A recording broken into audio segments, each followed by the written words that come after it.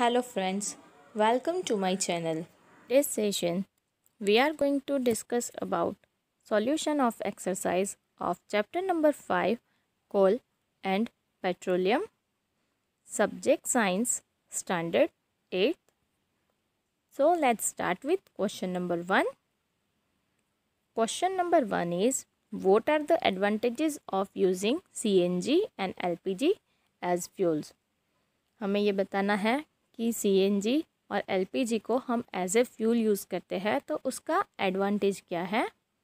Answer is the advantages of using C N G and L P G as fuels are first they can be burn directly second they can be transported easily through pipelines third one is they can clean fuels and do not give smoke when burn and fourth one is they are more efficient. अब हमें advantages दिए हैं। First कि CNG और LPG को हम ना directly burn कर सकते हैं।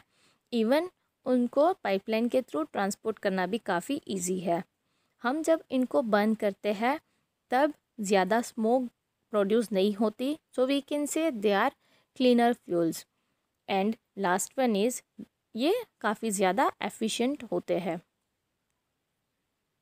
Next question is name the petroleum product used for surfacing of roads हम कौन से पेट्रोलियम प्रोडक्ट को रोड के सरफेसिंग के लिए यूज़ करते हैं?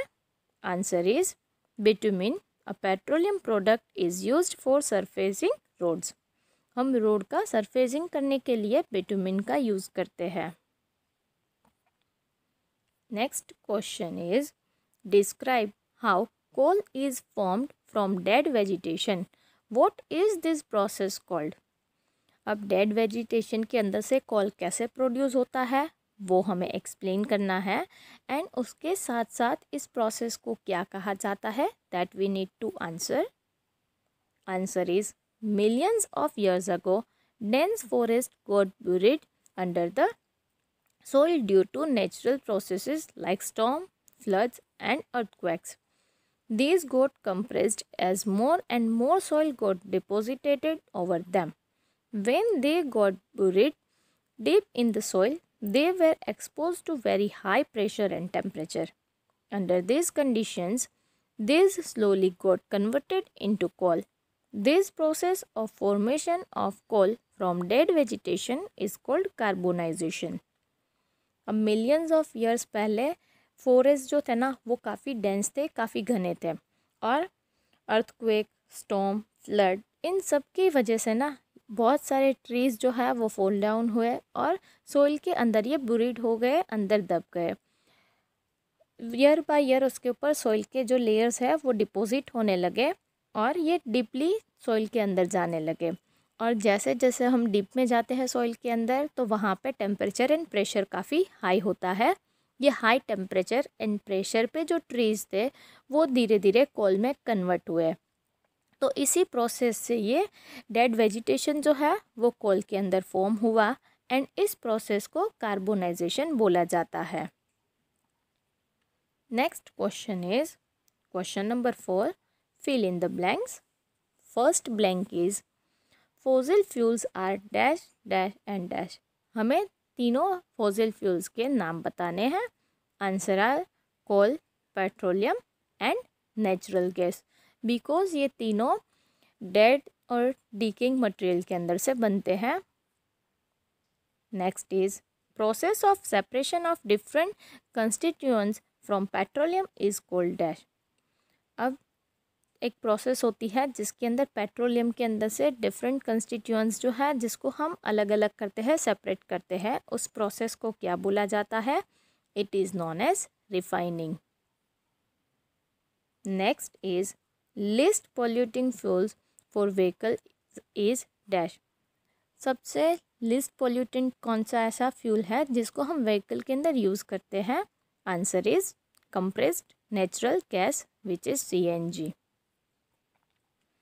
Now, question number 5 is take true or false against the following statements. We need to answer कि ये true है या false है. First one is fossil fuels can be made in the laboratory fossil fuels को हम laboratory के अंदर बना सकते हैं no it is false because fossil fuels जो है वो डेड एंड डिकिंग मटेरियल के अंदर से नेचुरली बनते हैं हाई प्रेशर एंड टेम्परेचर पे next is C N G is more polluting fuel than petrol C N G जो है, वो पेट्रोल से ज़्यादा पोल्यूटिंग है. It is false it is less polluting next is coke is almost pure form of carbon coke जो है, वो carbon का सबसे प्योरेस्ट फॉर्म है. Yes it is true next is coal tar is a mixture of various substances coal tar जो है, वो अलग अलग सब्सटेंसेस का मिक्सचर है। Yes this is true next one is kerosene is not a fossil fuel kerosene जो है, वो फोजल फ्यूल नहीं है। It is false because refining की प्रोसेस में हमें केरोसिन भी मिलता है। It is also fossil fuel next question is explain why fossil fuels are exhaustible natural resources fossil fuels जो है ना, वो एग्जिस्टेबल नेचुरल रिसोर्स क्यों है? वो लिमिटेड क्वान्टिटी के अंदर क्यों है? Answer is fossil fuels require millions of years to form from the dead vegetation and animals that get buried deep inside the earth they require high temperature and pressure for their formation which can not be provided in the laboratory thus fossils are limited. Therefore, the use of fossil fuels at this rate will lead to their exhaustion. अब fossil fuels जो है वो जैसे हमने आगे discuss किया कि वो डेड वेजिटेशन और एनिमल्स के अंदर से बनते हैं क्योंकि इनको हाई टेम्परेचर एंड प्रेशर चाहिए जो हम लेबोरेटरी के अंदर प्रोवाइड नहीं कर सकते इसीलिए फोजिल फ्यूल्स को बनने के लिए भी मिलियंस ऑफ़ ईयर्स लगते हैं और फोजिल्स जो है वो लिमिटेड भी है और हम आज फोजिल फ्यूल्स को बहुत ज़्यादा यूज़ करते हैं। दैट्स वाई वी कैन से कि ये एग्जिशन के अंदर है। Next question is describe characteristics and use of coke हमें कोक की कैरेक्टरिस्टिक्स बतानी है और साथ में ये भी बताना है कि हम उसको कहाँ पे यूज़ करते हैं। Answer is coke are tough porous and black in colour ये हो गई कैरेक्टरिस्टिक ये टफ है। पोरस है, उसमें टाइनी हॉल्स होते हैं और ब्लैक कलर के होते हैं। Coke are use in manufactures of the steel and in the extraction of the metals as a reducing agent coke को हम कहाँ पे यूज़ करते हैं? तो स्टील के मैन्युफैक्चरिंग के लिए यूज़ करते हैं और बाकी सारे मेटल्स को एक्सट्रैक्ट करने के लिए, निकालने के लिए भी हम कोक को यूज़ करते हैं as a reducing agent next question is explain the process of formation of petroleum petroleum कैसे फॉर्म होता है ये पूरी प्रोसेस हमें एक्सप्लेन करनी है answer is Petroleum was formed from dead vegetation that got buried in the sea millions of years ago. These dead bodies got covered with the layers of sand and clay. Lack of air, high temperature and high pressure transform these dead organisms into petroleum and a natural gas. अब petroleum कैसे form होता है? तो ये भी dead vegetation के अंदर से ही बनता है बट ये ये ज़मीन के अंदर नहीं बट सी के अंदर मिलियंस ऑफ़ ईयर्स के पहले ही ये बुरीड हुए थे, अंदर दब गए थे। और जो भी डेड बॉडीज़ हैं, उनके ऊपर सैंड और क्ले के लेयर्स बनते हैं। डीपली एयर की एब्सेंस होती है और टेम्परेचर एंड प्रेशर काफ़ी हाई होता है, जहाँ पे ये डेड वेजिटेशन के अंदर से पेट्रोलियम और नेचुरल गैस में ट्रांसफॉर्म होते हैं। इसी तरीके से petroleum as well as natural gas form होते हैं।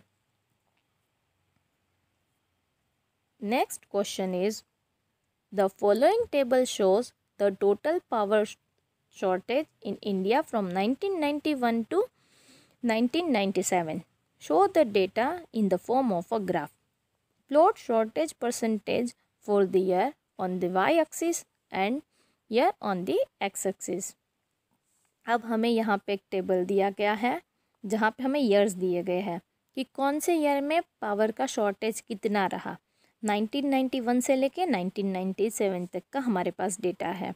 और इसी को हमें एक ग्राफ के फॉर्म में रखना है जहाँ पे हम एक्स एक्सिस जो है, वहाँ पे हम परसेंटेज दिखाएँगे और वाई एक्सिस पे हम ईयर्स प्रेजेंट करेंगे। लेट्स सी द आंसर देखो यहाँ पे ईयर है और यहाँ पे आपको दिया है पूरा शॉर्टेज कितने परसेंटेज का शॉर्टेज था? लाइक like 1991 के अंदर 7.9 परसेंट का था। ईयर स्टार्ट होता है 1991 टू 1997 सो ग्राफ में यहाँ पे 1991 1992 वन वन सेंटीमीटर के गैप में है. और यहाँ पे परसेंटेज की अगर आप रेम रेंज देखोगे तो वो ऑलमोस्ट सेवन से लेके ट्वेल्व तक के बीच में है. सो यहाँ पे अकॉर्डिंगली रेंज ली है. Even you can change this range like five six seven you can have the difference of just one percent as well वो भी आप कर सकते हो. जैसे नाइनटीन नाइन्टी वन में सेवन पॉइंट नाइन परसेंट था। तो सेवन पॉइंट नाइन परसेंट यहाँ पर आया देन नाइनटीन नाइन्टी टू में सेवन पॉइंट एट परसेंटेज था शॉर्टेज पावर का। ये यहाँ पे रिप्रेजेंट किया। नाइनटीन नाइन्टी थ्री में एट पॉइंट थ्री परसेंट था, जो यहाँ पे इंडिकेट किया है ये एट पॉइंट थ्री। लाइकवाइज ये सारे ईयर्स का रिप्रेजेंट किया है देन हर एक शॉर्टेज को कनेक्ट करके ये ग्राफ रिप्रेजेंट किया है। आपको ये ग्राफ पेपर के अंदर ड्रॉ करना है। We have discussed solution of the entire exercise hope you have enjoyed this session if you have really enjoyed it like this video share it with your friends and if you have not subscribed my channel yet subscribe it. Thank you.